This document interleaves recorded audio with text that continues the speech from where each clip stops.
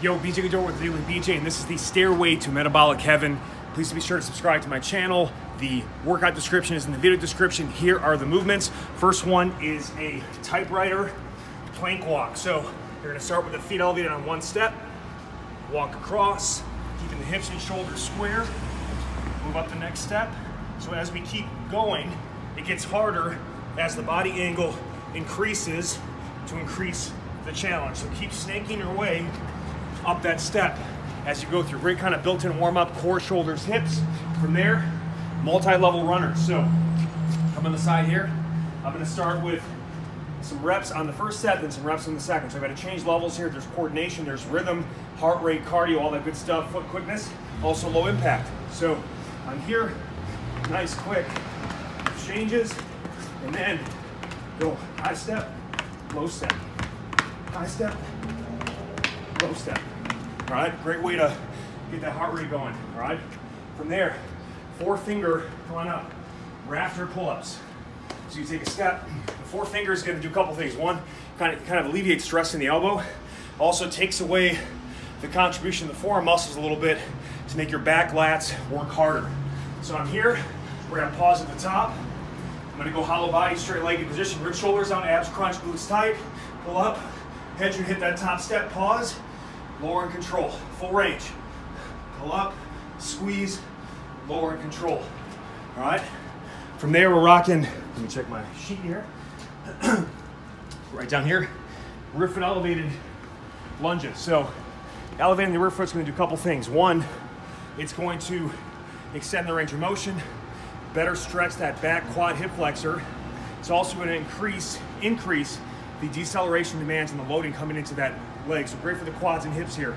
So lunge out, push, stick it, push back fast. Take that back toe into the step, push back fast. All right, you'll do all your reps on one side and then switch side the next round, next set. All right, from there we're going side to side rail row. So you're gonna wanna get positioned like this. Nice wide grip, legs are bent, and you're shifting side to side to stress one arm more at a time. So I'm locked in, glutes, pull, squeeze, right there, all right? You find your positioning as needed. Pull, side to side row rows. Great for that unilateral side to side emphasis, strengthening and imbalances between sides, also making a normal two arm row a lot more challenging because you're loading one side at a time, all right? Then we go into uneven, I'm sorry, yeah, uneven push up to balance. So take a step and do all your reps on one side, then switch to the next set. Uh, so a great way to work.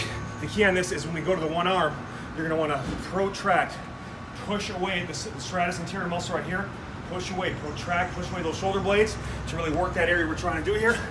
This arm is taking most of the weight. So it's kind of like a self-assisted single arm push-up. Elbows about 30 to 45 degrees away from the trunk. So as I come up, push and hold. Up, push and hold. Keep those forearms vertical on that push-up and then really push away at the top. All right? Two moves left. Single leg jump to step down. Step jump. So either take the first or the second step to jump onto. You load one leg, triple bend, ankle, knee, hip. Swipe the arms through, land soft, step down. Hinge. You gotta load those hips, push through, come down. So great way to take some of the landing stresses off, dissipating the landing forces by landing to an elevated surface, stepping down in control so we don't jump back down and stress the Achilles too much. And you'll just either switch sides halfway or from round to round.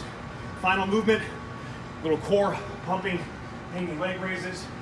So what we're gonna do here is get a reverse grip on that step. We do the rafter pull-ups. So first tuck the knees, then keeping that tuck, extend the legs, repeat that pattern.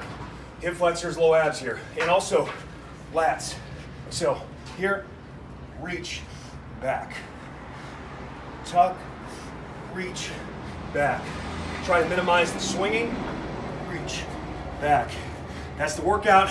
Again, workout description and video description. Subscribe to my channel. Get all my awesome 30 minute fat loss workouts you can do at home or take to the gym at thedailybj.com. Three day free trial. Do it today. Peace.